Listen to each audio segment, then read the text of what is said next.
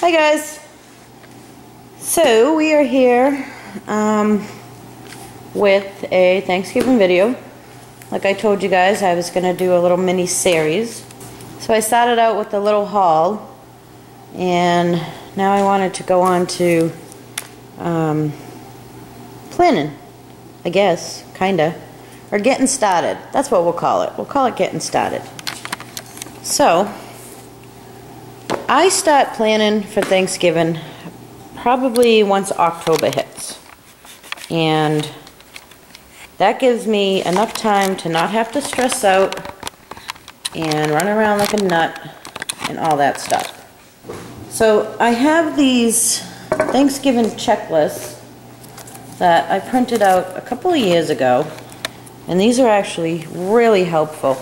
I definitely recommend printing one of these out or making your own or whatever because these are these are really helpful.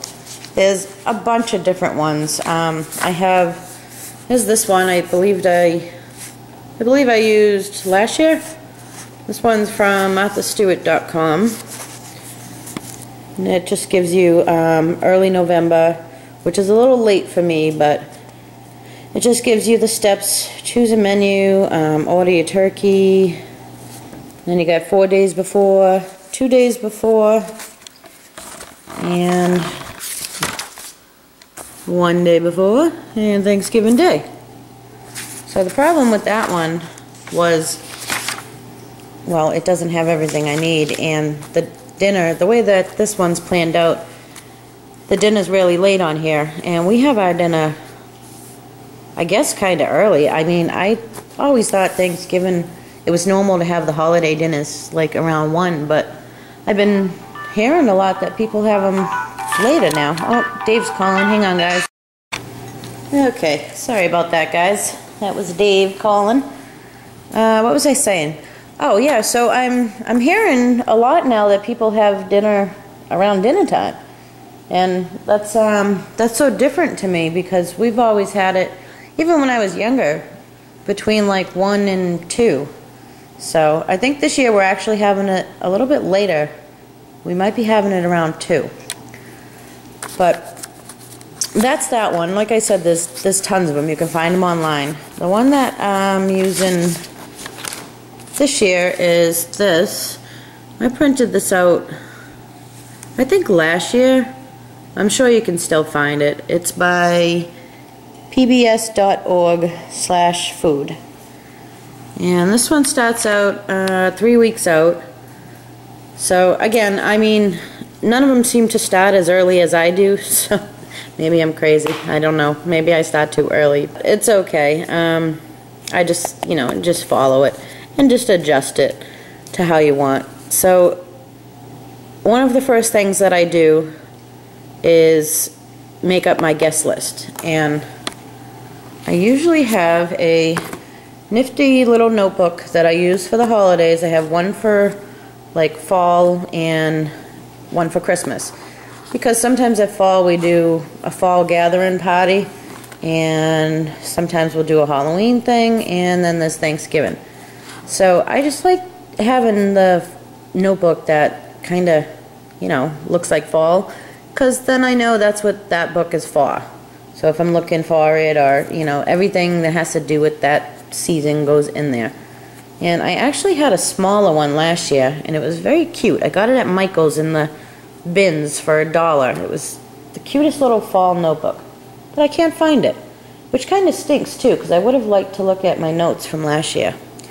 But this one, this one is very pretty, I think. And I found it at Big Lots for $3, and it's a bigger, so this will last me quite a few years. So that's what I do is I start out my guest list and see my family likes to give me a hard time.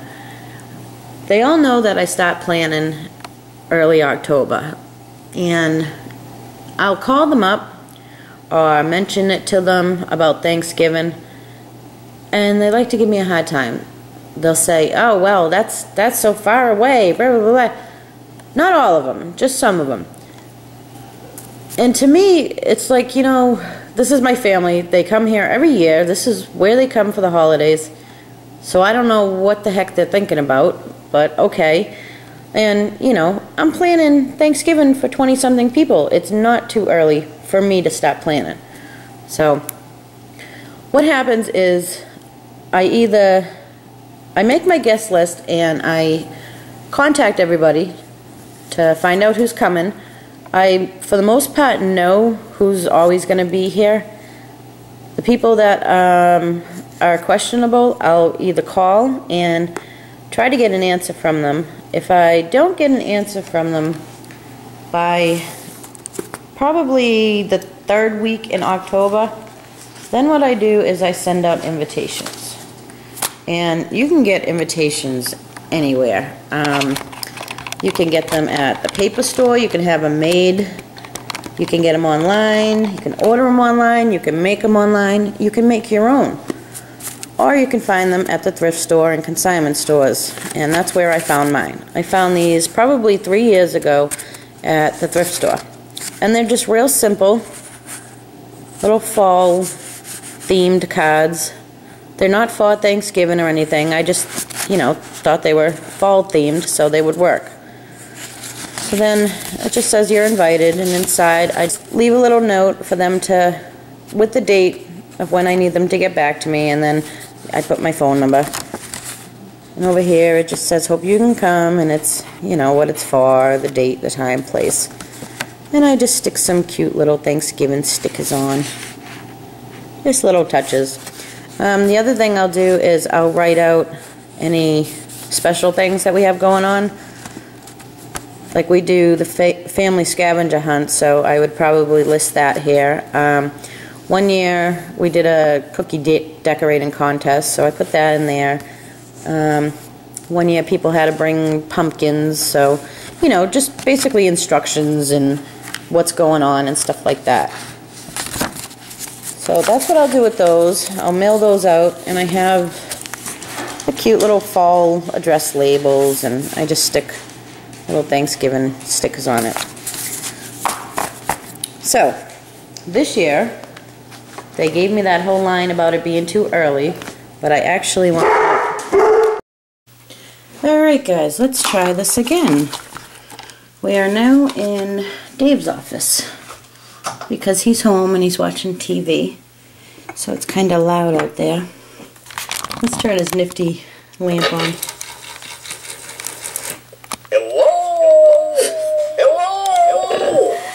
Funny. I showed you guys that before in a video.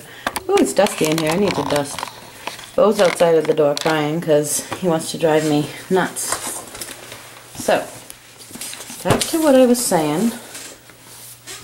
I believe I was talking about the invitations. And what I was saying was I actually got enough answers back from people that I would send the invitations out to so that I didn't have to send invitations this year. So that was one less thing that I had to do. So that's the guest list part. The next thing that I usually do, which is on this list right here, is order my turkey. And let me see. We are in, I don't even know, close, close to the end of October.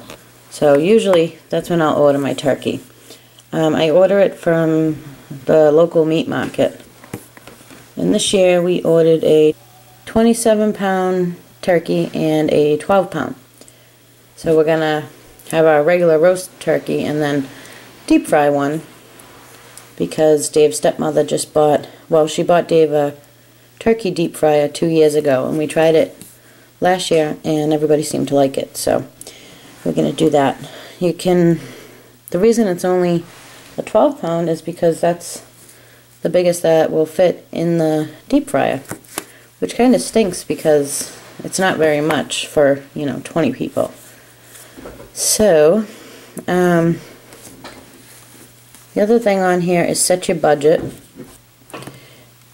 If you have a budget for Thanksgiving and you know, you budget everything out and you shop at like, you know, you can find really good deals out there. Like the stores I always go to, TJ Maxx and Marshalls, you can find so many Thanksgiving things or holiday things there for pretty cheap money. And there's Dollar Tree and Walmart and Big Lots.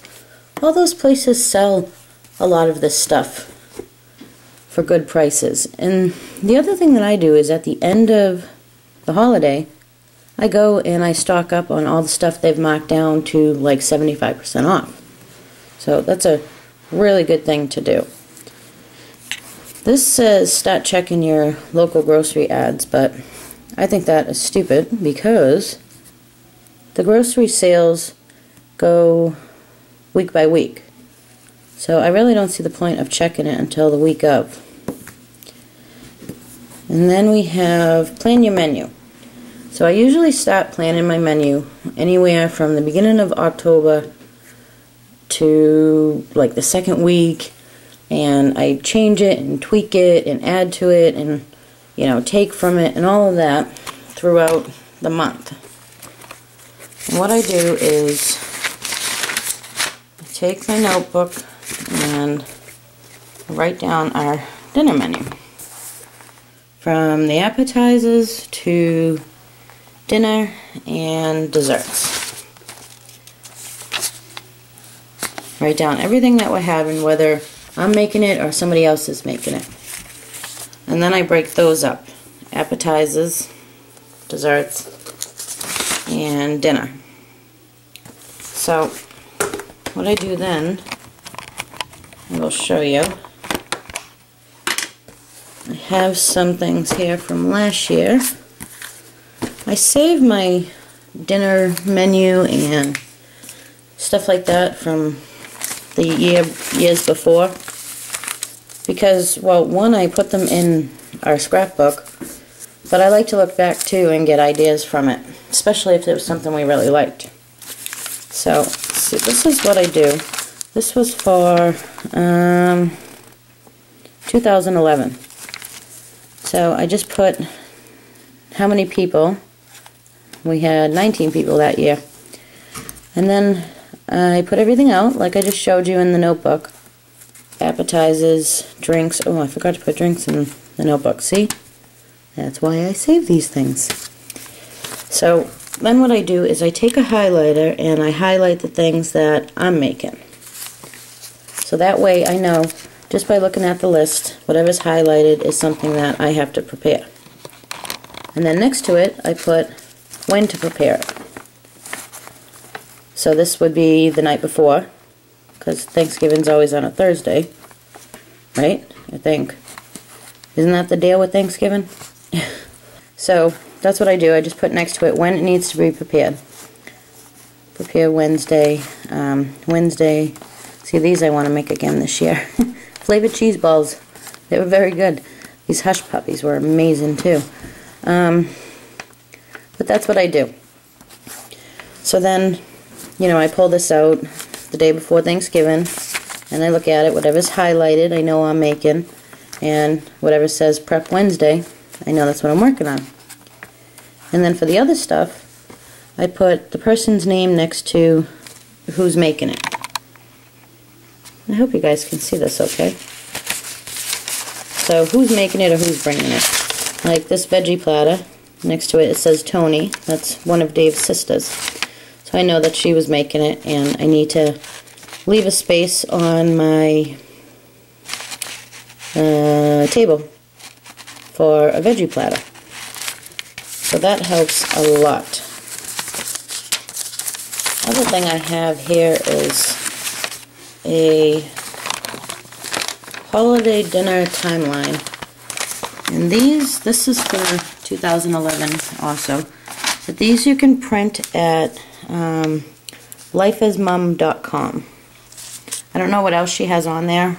I haven't been on there in a while, but I know this came from there, so.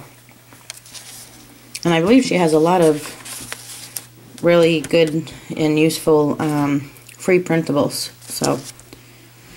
So these, this is really good to have. So you fill this all out, and you can just look at this. This helps you with the prep for the night before and then for the day of. So see, all I have to do is take this little sheet out and usually, well, we used to do a pork loin and a turkey, but since we got the deep fryer, we do the deep fried turkey. So now up here I've just put Wednesday and over here I put Thursday. I brine my turkey every year. Um, I don't know, I have for probably about five or six years now. Ever since I saw it on the Food Network. we really like it like that. So, so this gives you prep and freeze uh, night before in the AM. So what I do is I cross out the freeze because I don't freeze any of the holiday stuff. So prep, the turkey needs to be brined and it needs to be done the night before in the AM. So Wednesday morning I know the turkey has to be brined. Prep the baked apples the night before and you know so on. And then on Thursday is what we have. So it goes from three hours down to, um, well, down to serve, but. Alright, let's see what we have here. This is 30 minutes before. What was it? Hush puppies, because those had to be deep fried.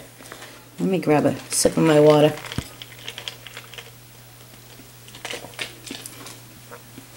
I still haven't got my full force voice back yet from being sick, which is ridiculous because I've had this cold or whatever the heck it is for like a month. But we're off the topic here. So that is the deal with this. And I'm telling you guys, these little steps, doing this stuff and planning this stuff out, if you're the one that does the whole Thanksgiving holiday thing and, you know, it's all at your house, this stuff helps so much and it helps with the stress. So, one of the other things I wanted to tell you about is when I plan my dinner menu for Thanksgiving, we usually have all the traditional stuff. So we have, well, traditional for us. We have turkey, stuffing, mashed potatoes, carrots, you know, all that stuff. But I always make two of everything because some people like one thing and some people like another thing. So what we usually do is, like we start out with the appetizers, and this is going to be the first year I don't do this actually. I usually have acorn squash that are baked and I cut open, and I take the um, the seeds out and I serve the soup in that. We usually have two soups to choose from. And I actually call my guests ahead of time and ask them which soup that they would like. And that's how I do the count for the soup. And that's usually right on their plate at the table setting. So they just take their acorn bowl and they either go up to the soup or I've already filled it. So this is actually going to be the first year that I don't do the acorn bowls. So like I was saying, we have two of everything. So we'll have two soups for them to choose from. Then the appetizers are pretty just, you know, simple. Um, this year we'll do a veggie platter and some little fruit skewer things and that's a whole nother video. I'll show you guys all that. But when I sit down to do my menu, what I do is I pull out some cookbooks, some magazines, anything for Thanksgiving or fall that I've gotten, you know, over time. Um, Dave was sweet enough to get me the Food Network subscription for Christmas one year. And I absolutely love it, especially for the holidays. So this one is from uh, 2011. And I used quite a bit out of this. I think one of the things... Oh, okay. So I have them ripped out here because I clip them all together and I keep them in my you know, stack of Thanksgiving stuff, I guess. So these I made last year. These came out of the magazine. These were all different flavored butters. Those were amazing. Uh, we did enough. Oh, these. These were great. And actually, I really want to make these this year. These are different flavored cheese balls. But the point here is this stuff came out of the magazines Oh, these hush puppies were good too. Hmm. These came out of the magazines, and then I have like my traditional stuff, and you know, we have cookbooks that I go through. Um, these little books you get at the grocery store up at the cash register. Actually, I got this one just recently, and this has a lot of good recipes in it. See all the post-its? It's quite a bit I'm going to use from that. Here's another one. This was from last year. What we got here? Fall bacon. That one's from 2007.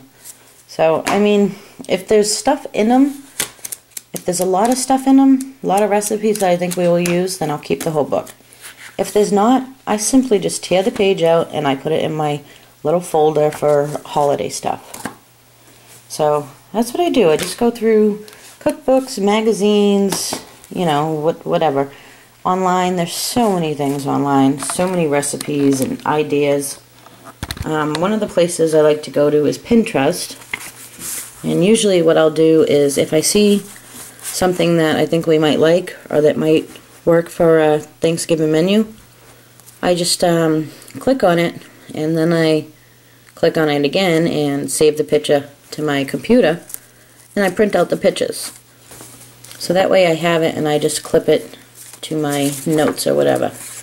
And usually what I'll do is write the recipe on the back of it. So this this is really this really helps too. See, so these I think I was using this for a fall harvest party one year and I just took the picture off of Pinterest. Sometimes they'll have recipes, sometimes they won't. Um, if they don't, I just kind of go by the picture and wing it. But just write the recipe on the back of the picture. So, and I save them. Oh, here's some more. This is just a cute serving idea. I think I printed this one out last year too. Well, they used the pumpkins. Yeah, I did, because I did this. I used it for our fall harvest party. But isn't that pretty? You use the pumpkins and you put the plates on top. Oh, there's some acorns that I did not make. These are cute too. Um, but that's the uh, that's the deal with the dinner menu. So, so far, that's where I'm at. I have invited my guests. We're almost, oh, we're almost done with October. Only a couple more days. And I've invited my guests. I ordered our turkey. I have planned the menu and actually I think that I have it almost finalized. Um, I've pulled out the decorations and I've bought some extra decorations so far. There might be more things I need to buy for our guest. But you guys saw that haul. Pretty much that is where we're at. So we're doing good here. The holidays do not need to be stressful. They don't. Sometimes family will make them stressful, but yeah, that's besides the point. They really don't have to be stressful. But that's it, guys. I just wanted to share this with you. I thought that um, maybe it would be helpful to some of you. And I hope it will be. So I think that the next video will probably be on um, supplies and stuff like that. You know. So that's it for now. I'm going to share recipes with you guys and go over our Thanksgiving menu one more time and, and I'll share that in the video too. Alright guys, I'm off. I hope you guys enjoy this. Let me know if you do. Let me know if you don't. Either way. And I will see you soon. Bye guys.